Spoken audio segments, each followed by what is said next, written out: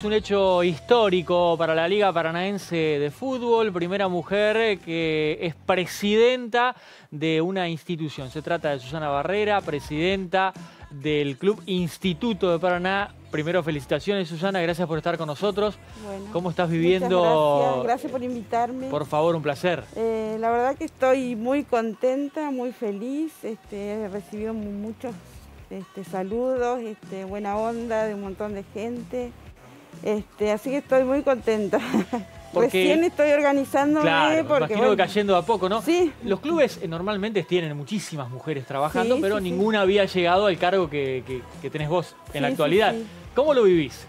Bueno, la verdad que estaba muy, muy emocionada. Este, fue un gesto de gran generosidad por parte del grupo de trabajo que tenemos en el club, que hace bastante que venimos trabajando y bueno, me propusieron que, yo esté ocupando hoy este, este, lugar y al principio me costó un poco aceptar, pero después me dijeron, bueno, nosotros te vamos a acompañar, no te vamos a dejar sola, tenés que animarte y, bueno, la verdad que muy, muy contenta.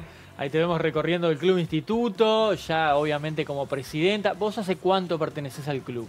Y yo, este, mi hijo jugaba cuando era chico este, en el club y bueno, vivo a tres cuadras del club, así que soy el club de mi sos barrio. Del barrio, sos del club, de toda la vida. Sí, bueno, después cuando él creció ya no jugó más, pero volví porque me invitaron para, para este, formar parte de una comisión más o menos hace como cinco años.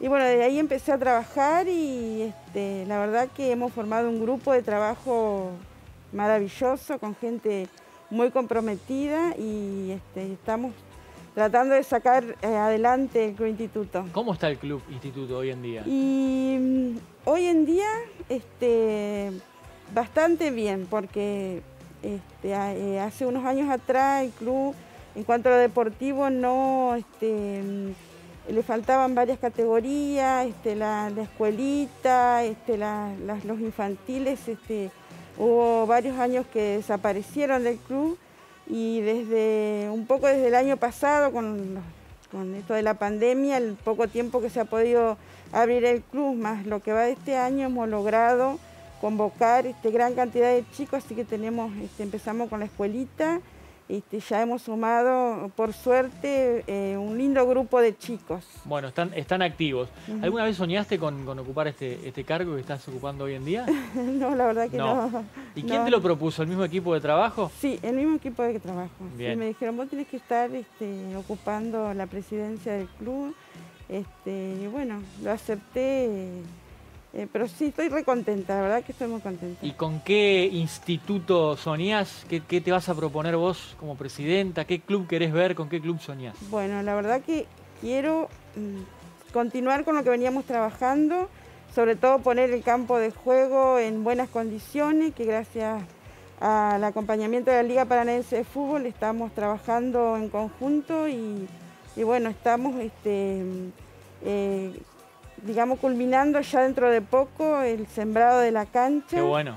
Y mm, bueno, después obviamente el club necesita un montón de cosas, sobre todo la parte de iluminación, este, la parte sanitaria que ya tiene sus años y bueno, hay que este, hacer una, prácticamente arrancar de cero porque hemos remendado, remendado y no sirve, pues no dura nada, así que bueno, esas cuestiones, la cuestión de, iluminar la cancha y, este, eh, eh, poner a punto lo, que son los baños, vestuarios, eh, eso es lo que me propongo yo dentro de estos dos años que voy a estar. Mucho por, delante entonces. Sí, la verdad que sí. Bueno, a trabajar y gracias y felicitaciones nuevamente por el cargo. muchísimas gracias a ustedes.